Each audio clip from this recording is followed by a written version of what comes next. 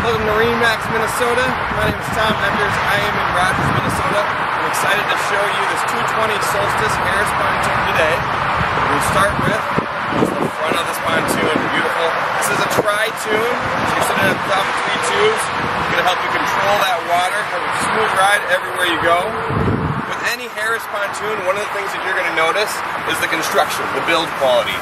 Harris does a great job building their pontoons. You're going to have water management around all of your indoor storage areas. Keep the dry stuff dry, prevent it from getting wet. Kind of what you want to do when you're on the water. This one has a movable cup holder. You can certainly move this around wherever you want, wherever the guests are. Make them feel like they're included. In the center of the pontoon, you're going to have a ski locker. That's on any tritoon. You're going to be able to fit some skis, some ropes in there, for having fun on the water. As you move to the back, you have a great conversation area.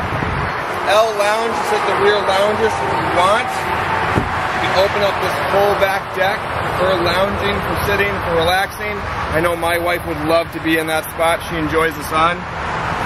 So there's a full bimini that'll come across. So if you don't want to be in the sun, if you want to be in the shade, just feel that cool breeze, you certainly can open up that bimini and give yourself just a little bit of shade that you need.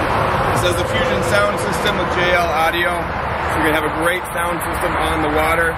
This particular pontoon is paired with the 150 horse Mercury engine.